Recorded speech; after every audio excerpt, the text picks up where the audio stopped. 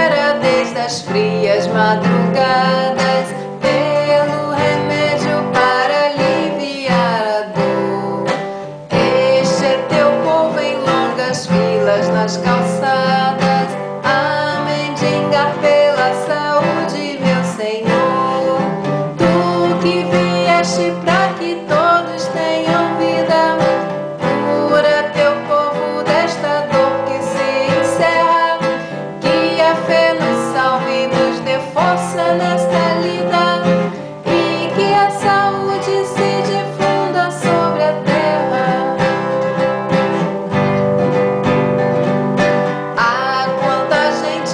chegar aos hospitais. Fica sofrer sem leito e sem medicamento.